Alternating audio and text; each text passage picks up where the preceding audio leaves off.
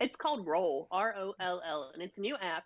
Which essentially what it does is its tagline is our punchline is essentially that we give fans access to their favorite creators' camera rolls, but not really. But what what this does Because that is sounds it puts up- dangerous.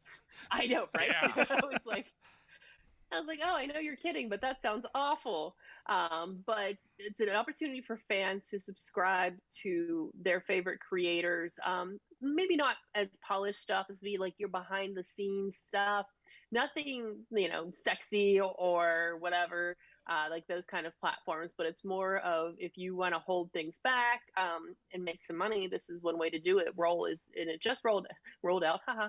And um, if you go to joinroll.com, it's really funny because the page is just a set of eyeballs, and it's either home, download, creator question mark, contact, privacy, legal, FAQ. But uh, it's a new way that you can, you know, make some money if you're if you, you want to put that out there and you don't want to put all your content out there and you want to make look at those eyeballs. What do I do with the eyeballs? What do I do with the eyeballs? Nothing. It's all at the bottom. Oh, okay. They're just they're looking at you because they're looking at your camera What roll, but not really. this? What do I do with this? And they're they're only taking twenty percent, so that's not bad. No.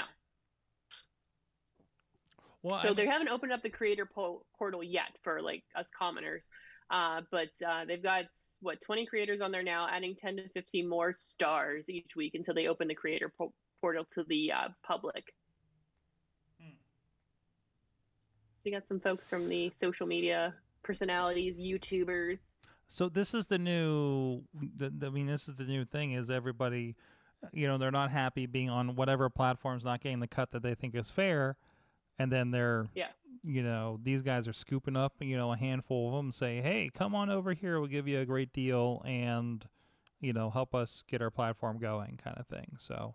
Whether, where Mhm. it goes from that, who knows? So I don't know. Are these YouTubers or something that are on here? Are we aware of who they may be?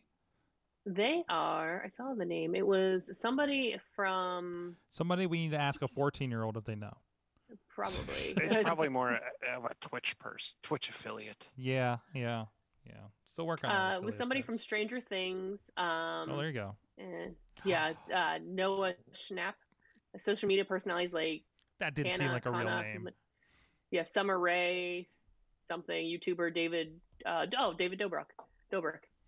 I know that name, but that's it. Nobody else's. Um, but he was also, I guess, he was also co-founded. Days. Oh, he gets a real deep dive in here. David Disposable, an app that became Dispo, and then there was an issue with Dispo, and now they're over here trying to make money. There you go. This is the newest place to make money Mhm. if you're putting content out there. There you go. There you go. We should all try. We should all start one and see who does best. um. Okay. Um. Well, yeah. Especially, I mean, well, eh, OnlyFans. I don't know. Has there been an exodus from OnlyFans? Because I know they were questionable for a minute.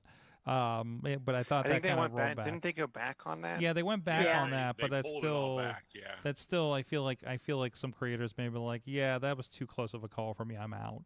Um, so I don't know. We'll see. We'll see. But uh, yeah, worthwhile. Um, if you're in that space.